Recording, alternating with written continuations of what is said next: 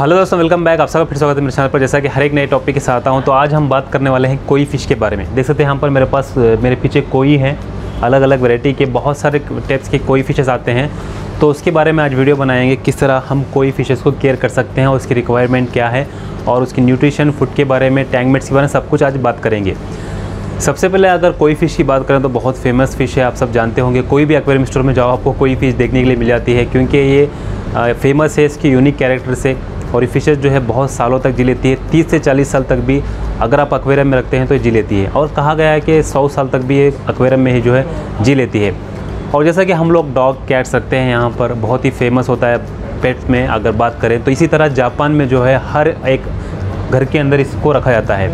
Compare to dog and pets ये ज़्यादा रखा जाता है। क्योंकि ये उनको सालों से ये वहाँ से ज़्यादा आई है फिशेस तो वहाँ से लेकर इंपोर्ट होकर सब जगह से आई है। तो बहुत ही यूनिक होती है और इसको, ये फिशेज़ जो है तीन फीट तक भी बड़ी हो जाती है। अगर इनको प्रॉपर केयर करें तो डिपेंड होता है कि सर आप इसको केयर कर रहे हैं, कितनी बड़ी टैंक रख रहे हैं। एक्चुअली ये फिशेज़ जो है, ये पोन्ड की फिशेस है। एक्वेरियम में भी रख सकते हैं, कोई दिक्कत नहीं है, लेकिन ये पोन्ड में ज़्यादा रखा जाता है। जितना गहराई का पोन्ड होगा, उतना अच्छा रहेगा, क्योंकि ये सर्वाइव करती है, बहुत ही कोल्ड टेम्परेचर में भी सर्वाइव कर जाती है वार्म वाटर में भी सर्वाइव कर जाती है। बहुत ही हार्डी होते हैं, इसलिए इसको रखना बहुत सारे लोग पसंद करते हैं। अगर आप इसको घर में रखने के सोच रहे हैं तो मिनिमम आपके पास चार फीट टैंक होना चाहिए, चार से पाँच फीट होना चाहिए, तीन फीट भी छोटी हो छोटी हो जाएगी। इसीलिए आपने देखा, मैंने अभी तक कोई फ़िश नहीं रखा है, क्योंकि इसके लिए बड़ी टैंक रिक्वायरमेंट होती है। ये ज़्यादा खाती है, ज़्यादा पोप करती है, और इसकी रिक्वायरमेंट भी ज़्यादा होती है, बहुत ही बड़ी हो जाती है। स्टार्टिंग दो साल जिसकी होती है, लाइफ स्पैन उसमें बहुत जल्दी बड़ी होती रहती है। आप एक्सपेक्ट भी नहीं कर पाओगे, इतनी जल्दी बड़ी होती रहती है। और उसमें बहुत अलग अलग कैरेक्टर्स आते हैं, बहुत अलग अलग पैटर्न आते हैं। जैसा कि वाइट देखते हैं ब्लैक आते हैं। आजकल तो बहुत ही इसको हाइब्रिड करके अलग अलग वेराइटीज़ में मिल जा रहे हैं। इसमें बहुत सारे वेराइटीज़ आते हैं कोई कोई फिशेस में। ये कार फैमिली से बिलोंग करती है। अगर आप टेम्परेचर की बात करें तो ये जो है 18 से 28 तक भी ये टेम्परेचर में सर्वाइव कर जाती है। और टैंक की साइज़ की बात करें तो इसके लिए मिनिमम आपको चार फीट टैंक देना चाहिए।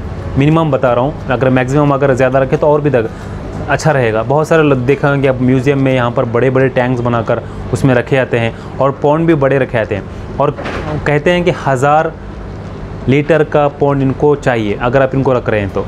तब ये बहुत अच्छे रहते हैं। जितना डेप्थ रहेगा, जितना गहराई रहेगी पौंड की उतना अच्छा रहता है। क्योंकि कोल्ड सीज़न में ज़्यादा गहराई रहेगी, नीचे जाकर रह जाएँगे तो सर्वाइव कर जाएँगे। लेकिन एक चीज़ का ध्यान रखें, अगर इनको पौंड में रख रहे हैं तो सूरज की रोशनी इनको बर्दाश्त नहीं होती है। अगर सूरज की गर्मी ज़्यादा रहेगी तो ये मर जाते हैं। इसलिए सूरज की गर्मी ज़्यादा ना रखें, डायरेक्ट ना पड़े, इस तरह कुछ सेटअप करके रखना चाहिए आपको। और इसी टैंक मेट्स के बारे में बात करें तो ये टैंक मेट्स आप इनको साथ, चाइनीज़ हाईफिन फ़िश वो आती है, वो रख सकते हो, या गोल्ड फ़िश रख सकते हो। छोटे फिशेस नहीं रखना चाहिए, छोटे फिशेस को ये अटैक करती है। हालाँकि ये, इसका एक यूनिक कैरेक्टर है कि आप इनको रख सकते हैं, लेकिन कभी कभी क्या करती है, ये दूसरे फिशेस की आँखों को खा लेती है। ये है कि इसके अंदर प्रॉब्लम है। तो आप इसके अंदर कैट फिशेस की वेराइटीज़ कैट फिशेस कोई भी रख सकते हो, और गोल्ड फ़िश की भी रख सकते हो, लेकिन मैं रिकमेंड नहीं करूँगा, क्योंकि बहुत सारे लोग मैं कंप्लेंट करते रहते हैं कि कोई फ़िश ने मेरे आँख गोल्ड फ़िश की आँख खा ली।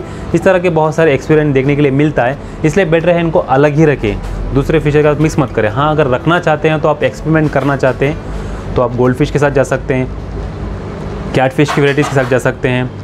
तो इनके साथ आप रख सकते हैं।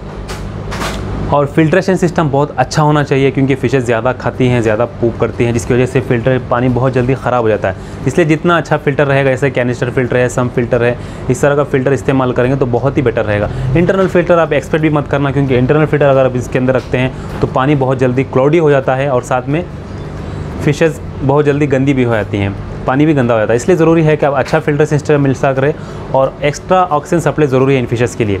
जितना आप एक्स्ट्रा ऑक्सीजन सप्लाई रखोगे उतना अच्छा रहेगा। इसलिए आप वाटरफॉल जैसा कुछ बना सकते हो अगर डिज़ाइन करना है आ, कोई पॉइंट के अंदर या नॉर्मल टैंक के अंदर रख सकते हो तो दो दो इस तरह से एक्स्ट्रा ऑक्सीजन पंप रखें क्योंकि ज़्यादा ऑक्सीजन पंप रिक्वायर करती है compare to other fishes gold fish और इसके लिए ज़्यादा ऑक्सीजन पंप ज़रूरी है। और जैसा कि ज़्यादा खाती है ज़्यादा पूप भी करती है इसलिए अच्छा फ़िल्टर इस्तेमाल करें।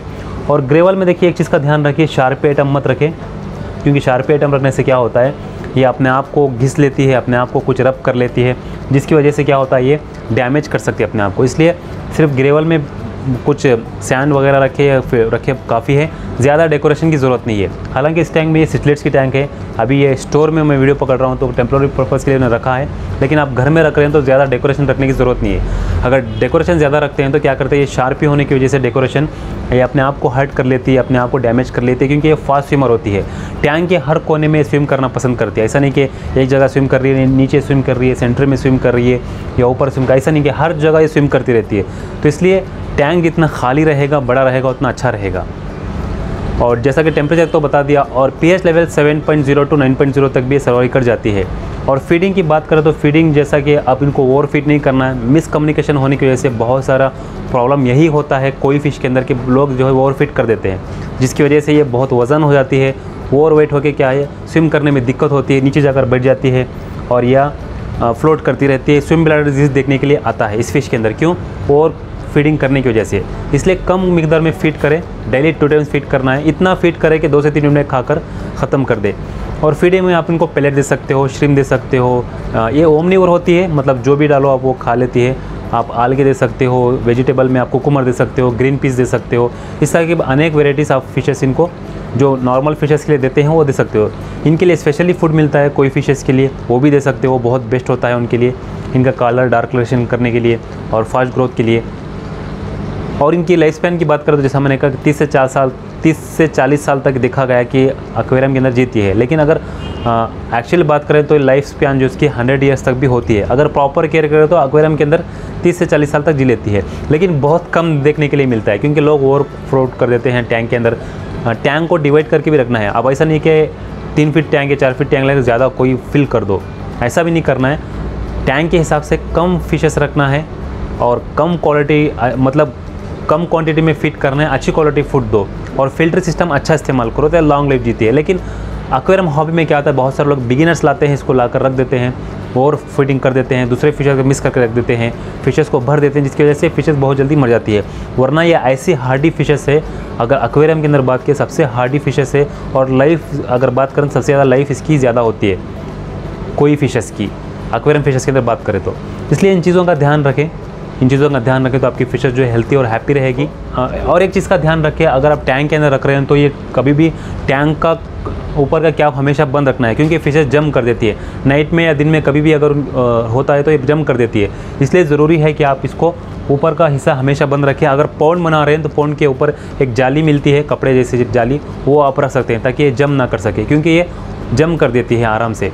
अगर ज़्यादा डेप्थ है को पौंड का हिस्सा तो वो नीचे स्विम करती रहती है ऊपर नहीं आती है। जब डेप्थ कम होता है टैंक का या पोन का तभी ऊपर जम करने की कोशिश करती है। एक मीटर डेप्थ होना चाहिए। अगर आप पौंड बनाने जा रहे हो तो अगर हालाँकि ये पॉसिबल नहीं है लेकिन फिर भी अगर बात करें तो एक मीटर मतलब तीन फीट से भी ज़्यादा अगर डेप्थ होता है पोन का तो बहुत बेस्ट है इनके लिए। और लाइटिंग की बात करें तो लाइटिंग जो है डेली आठ घंटे आप इस्तेमाल दे, दे सकते हो। आठ घंटे डेली इस्तेमाल करना लाइटिंग को। लो लाइट भी दे सकते हो ज़्यादा ओवर लाइटिंग भी नहीं देना वरना स्ट्रेस में आ जाती है।